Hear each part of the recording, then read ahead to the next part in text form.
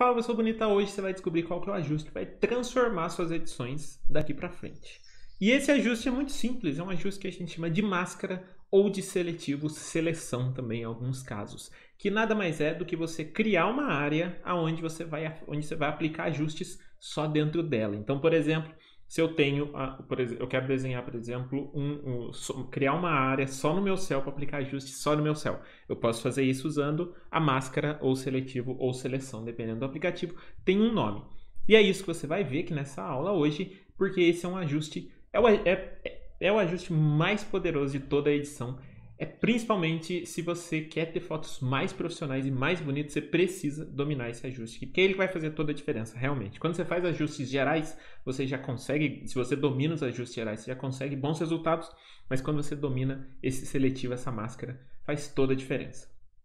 Eu vou usar aqui hoje o aplicativo Polar, porque ele agora tem a seleção, tem a máscara totalmente grátis.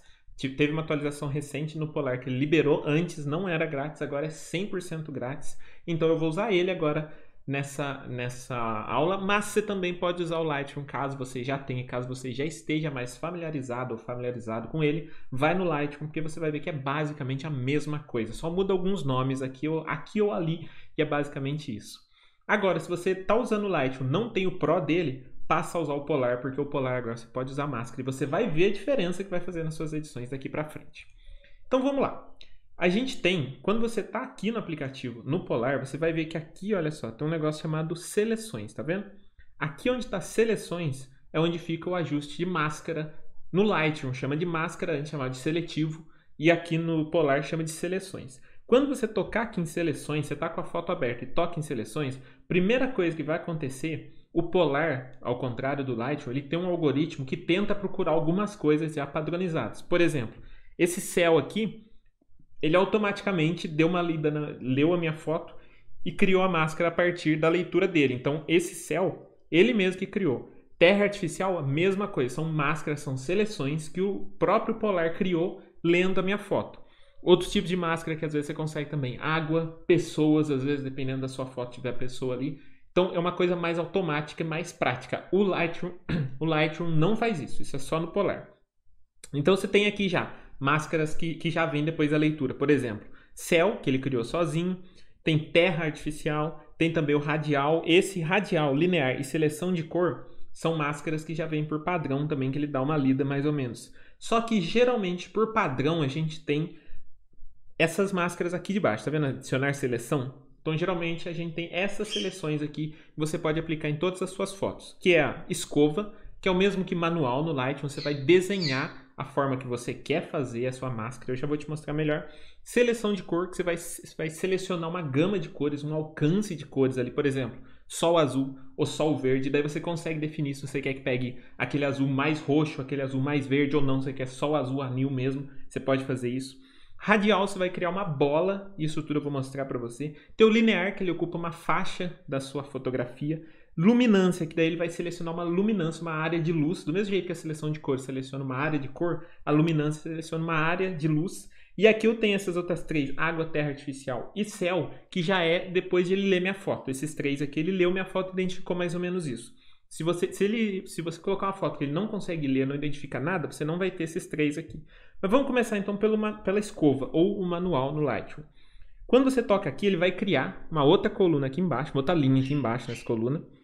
Tocou nessa escova, você vai ver que você vai ter todos os ajustes aqui que você já tem naturalmente. Então eu tenho aqui, ó, exposição, brilho. Inclusive, se você não está inscrito no canal, se inscreve e marca o sininho, porque depois dessa atualização nova no Polar, vai ter uma série só sobre o Polar, só sobre a interface do, do Polar, onde eu vou explicar sobre todos os ajustes dele e também da interface. Então, vão ser vários vídeos e vale muito a pena porque esse aplicativo aqui agora vai ser o aplicativo de edição de fotos para quem gosta de fotografia de celular. Então, não esquece de ativar o sininho aí se você já tiver inscrito. Se não tiver inscrito, se inscreve Ativa o sininho e também já curte o vídeo para facilitar, porque entrega para mais pessoas inscritas no canal. Então aqui você tem todos os ajustes. Você pode fazer os ajustes de luz, de cor, de tom, de efeito, enfim. Só que ainda a gente não tem nenhuma máscara criada. Quando, como é que eu crio a máscara? Você passando aqui, eu estou usando uma caneta touch, mas você pode simplesmente passar o seu dedo no lugar que você quer fazer a sua máscara, na foto. Então, por exemplo, vou fazer nessa parte de baixo aqui. Toda essa área vermelha é a área onde, vai meus, onde os meus ajustes vão ser aplicados. Só nessa área vermelha. Então aqui você vê que eu já tinha, por padrão, o polar já põe menos 50 de exposição. Então você vê que se eu tocar duas vezes aqui e resetar, ele volta para a cor original. Então, quando eu, por exemplo, aumentar a exposição, eu vou estar tá clareando só aquela área que eu desenhei, que eu fiz a minha, a minha máscara, a minha seleção manual com a escova. Mas isso nem é o caso que ainda agora a gente vai ver uma outra área. Aqui embaixo você vai ver que aqui a gente tem dois botõezinhos aqui. Um é ajustar, que é esses ajustes que a gente tem aqui. E o outro é atributos. Os at o atributos, a janela, quando você toca nela, você vê que aparece aqui algumas opções que são opções da máscara, de como que você vai criar a máscara aqui. Por exemplo, tamanho é o tamanho da escova, olha só. Pode fazer, pode diminuir o tamanho dependendo do que você for fazer. Você diminui uh, ou aumenta para você fazer sua máscara melhor. Escova de opacidade aqui é a mesma coisa que no Lightroom, é fluxo, é opacidade, a transparência daquele efeito. Então, se eu colocar, por exemplo, opacidade 50 e aumentar 100 de exposição, na verdade ele vai adicionar só 50 de exposição por causa dessa opacidade. Pena da escova é a mesma coisa que no Light, o Lightroom chama de difusão, ou seja, a transição da parte sem efeito para a parte com efeito. Então você vê que se eu aumentar a pena, você vê que tá, o círculo branco é, tá ficando. O, o círculo vermelho está se afastando do círculo branco, ou seja, está tendo uma transição da parte vermelha mais intensa até a parte que não tem nada. Isso aqui vai, vai fazer uma passagem do seu efeito para a parte que tem efeito, para a parte que não tem efeito, mais suave. Então o ajuste seu não fica tão é duro, tão fácil de perceber. Agora, se eu reduzir a pena ou reduzir a difusão, você vê que a minha, meu círculo fica bem delineado. Então, aonde eu aplicar ajuste desse jeito aqui, vai ficar bem duro a transição. Você vai ver que, ó, até aqui meu ajuste vai, daqui para lá ele já não vai mais. Então, esse tipo de coisa aqui não é muito legal se você está procurando uma edição mais natural. Você não vai usar sua pena, sua difusão no mínimo assim. Você vai sempre usar ali 30, 40 ou mais.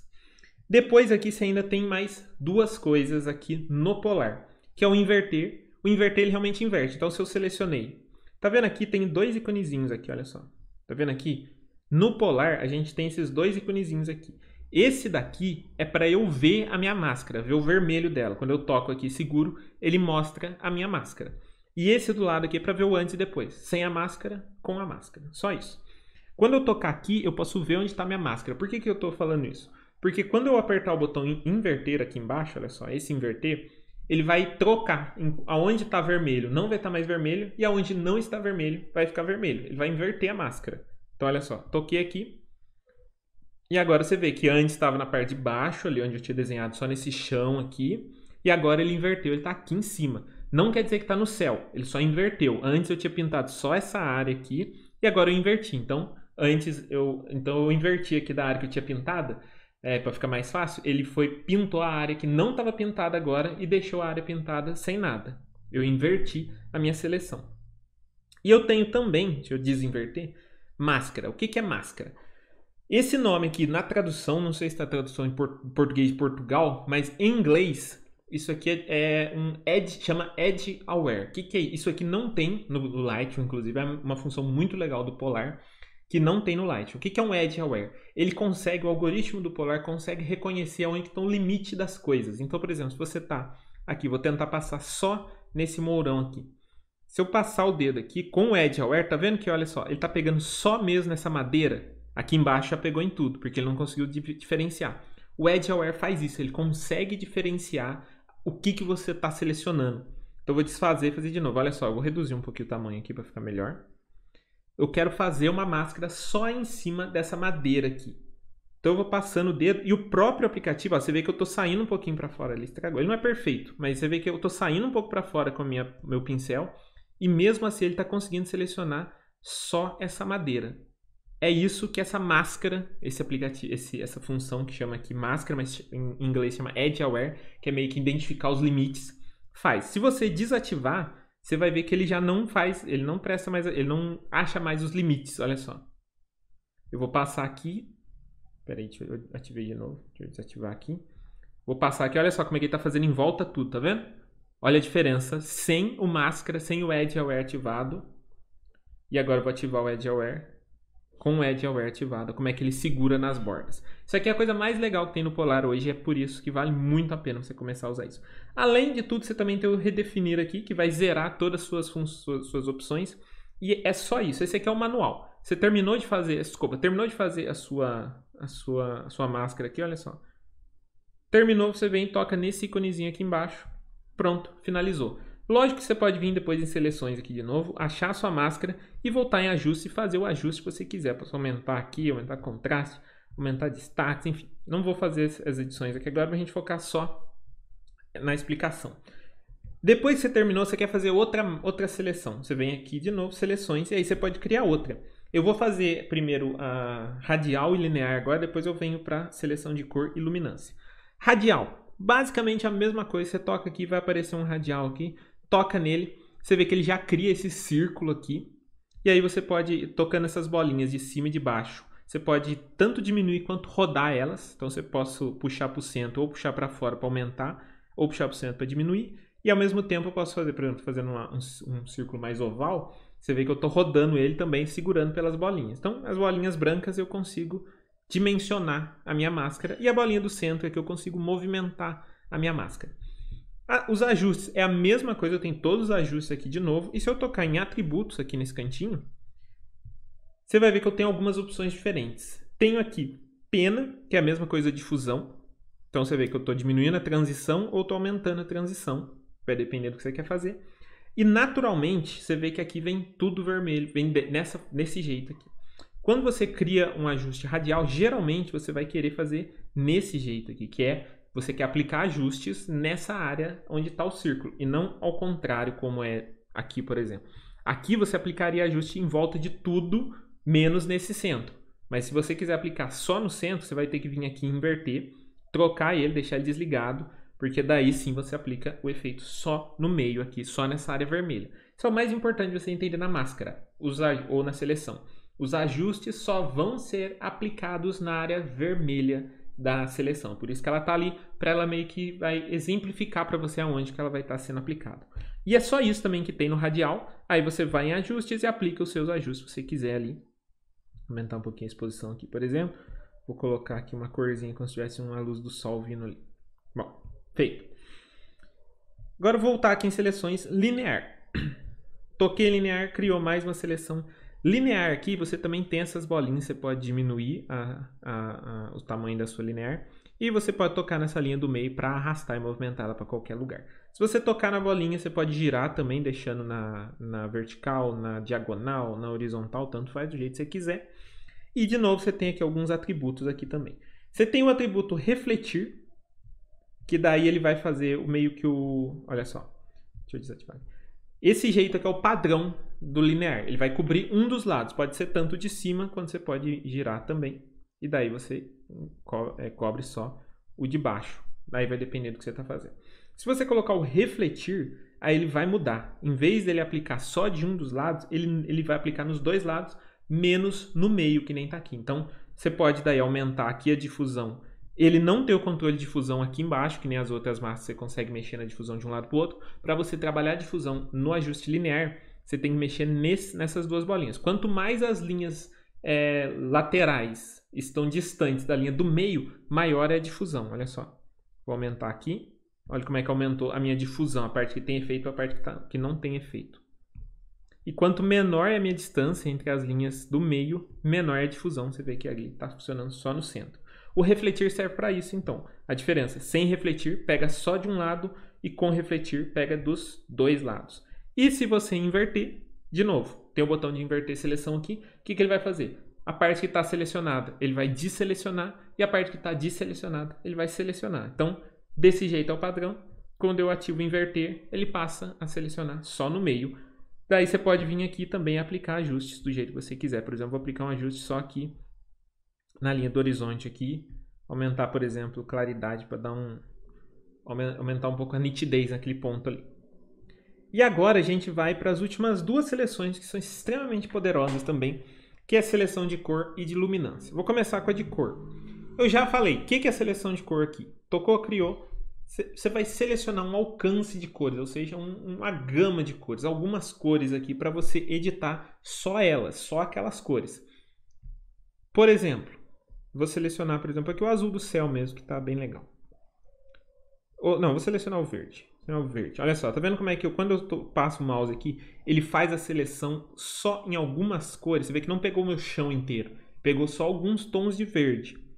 Se eu quiser aumentar, quero pegar mais tons de verde, ou se eu quero pegar menos tons de verde, eu venho aqui em atributos e nesse alcance aqui eu posso fazer isso. Aí eu quero alcançar mais cores, eu quero aumentar meu alcance, quero pegar mais tons de verde. Eu puxo para cá. E daí você vê que, olha só, ele tá aumentando, aumentando, ele começa a pegar mais cores. Ele começa a pegar o amarelo, aí em seguida ele vai subindo até pegar todas as cores da sua fotografia. Ah, não, eu quero pegar menos cores, eu quero só uma corzinha específica. Então eu vou puxando para a esquerda, vou diminuindo o alcance. Você vendo que ele vai afunilando, vai ficando cada vez mais precisa a cor que você quer, até que ele não pega cor nenhuma. Para daí eu aplicar ajuste, por exemplo, vou vir aqui em cor é, e vou, vou vir aqui em tom e vou deixar o verde um pouco mais... Não, tom não, porque o tom vai fazer um efeito diferente. Vou vir aqui em cor mesmo e vou, por exemplo, deixar ele mais, mais amarelado, puxando aqui a, a temperatura amarelando um pouco ele. E eu consigo um ajuste bem específico só naquele verde ali. E agora a gente tem também a luminância, que é esse ajuste aqui. Quando você cria uma de luminância, na cor você seleciona só um range cor e você seleciona só uma gama de luz ali. Então você pode posicionar onde você quiser. Por exemplo, eu quero pegar só essa parte mais escura aqui. De novo, você vier em atributo, você tem aqui o alcance, então você pode ir reduzindo o alcance para você alcançar. Eu quero pegar só nessa parte que está mais escura, só nessa sombra aqui, porque eu quero dar uma clareada nela. Então você vê que eu reduzi o alcance só para ela, e daí eu posso vir aqui, eu posso também usar aqui suavização, que ajuda a você controlar melhor, suavizar o alcance que você vai ter, olha só. Você consegue encostando, usando esses dois ajustes, alcance e suavização, você consegue alcançar mais aquela luminância, aquele, aquele brilho, aquela luz que você quer ali. Eu vou deixar bem aqui no, no máximo mesmo. Posso também inverter, do mesmo jeito que, eu, os outros têm. Eu posso daí então selecionar tudo, menos aquela aquela parte específica da minha luz ali, que não é o caso aqui. Eu quero selecionar essa parte mais escura. E daí eu posso vir aqui, por exemplo, e aumentar a luminância. Deixa eu dar aumentar a luminância aqui só nessa área aqui, olha só. Eu dei uma clareada só nessa parte que estava mais escura. Por que, que eu fiz isso? Talvez se eu fizesse o ajuste, por exemplo, tirasse sombras, pegaria toda a foto e acabasse removendo um pouco do contraste. Se eu, faz, se eu fizer só esse ajuste, a seleção só naquele ponto, eu consigo ser bem preciso e acertar só esse pedacinho aqui. Vamos ver.